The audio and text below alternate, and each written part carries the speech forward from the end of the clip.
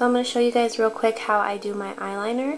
Um, I'm sorry, I'm I've been sick all week so my voice is a little messed up, but I'm going to try to show you real quick how I do my eyeliner using a gel eyeliner. It's the same way with um, a liquid, but I'm going to use a gel, and the one I'm going to use is um, Motives Little Black Dress.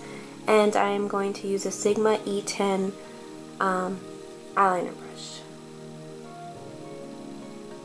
It's really the one I always use, and it's it's the best to get the most precise line, I think. So the easiest way to do it is starting from the outer corner of your eye and going straight up. You kind of want to do it just follow following your waterline and going straight up I personally that's the easiest way to do it I personally don't like that super straight line so I kind of curve it do a little curve but this is the easiest way to do it so just following your waterline and going up and you go up as far as you want your wing to be So I don't really, I don't really do a super straight line going up. I kind of curve it right here. That's just personal preference. I just don't like the super straight line. So after I have that line down, I'm going to take it, depending on how thick I want my liner. If I want it thin, I'm going to go lower down. If I want it thicker, I'm going to go higher up on the wing. so I want it kind of medium, so I'm going to start right here and then just drag it straight across.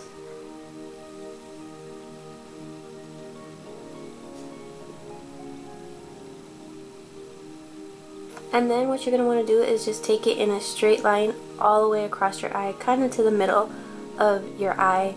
And you want to hold, kind of hold your brush like this and drag it this way or that way.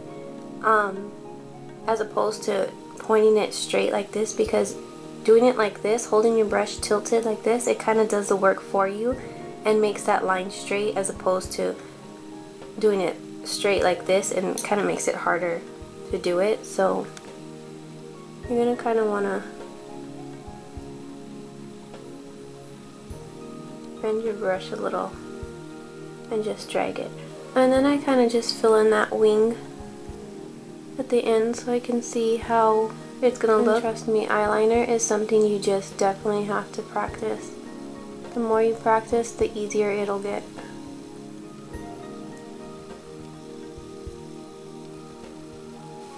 Just extending it a little bit more because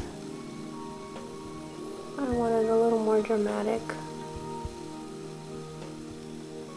So then what I do is I just finish by first I'll go along the take it along the lash line and then I'll start in the beginning and kind of start thickening that out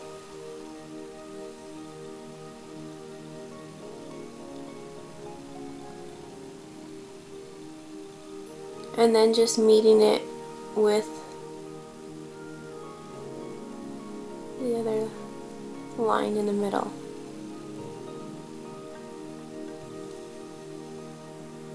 And that's that's pretty much it. That's how I do it. Again if you hold the brush at an angle like this as opposed to like this it'll do the work for you. It'll make that line a little straighter and it just it makes it easier. So if you want you can try practicing that and hopefully that helps. So that's how I do it. I just applied false eyelashes real quick. Um I never apply my eyeliner after my false eyelashes because I just don't see how anybody can get a straight line like that. So I always apply my eyeliner before my false eyelashes because I'm really picky about my eyeliner. I like it to be as perfect as possible so I take a lot of time on it. And when it's not perfect it drives me crazy. So um, I always do it before my eyelashes to get the best possible line.